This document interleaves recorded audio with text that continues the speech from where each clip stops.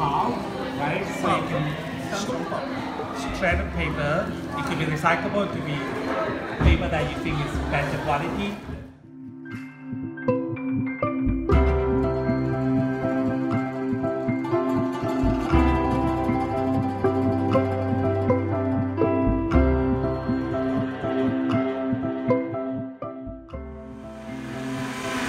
up to you how fine you want the pulp to be, right?